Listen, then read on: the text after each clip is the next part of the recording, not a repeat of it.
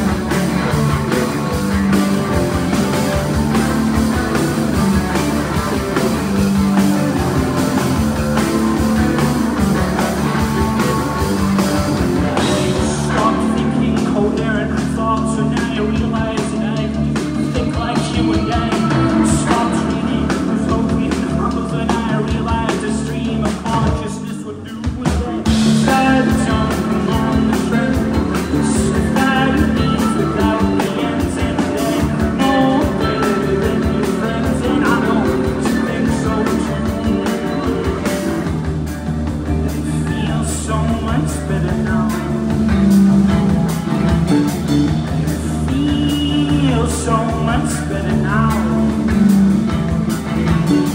I feel so much better now.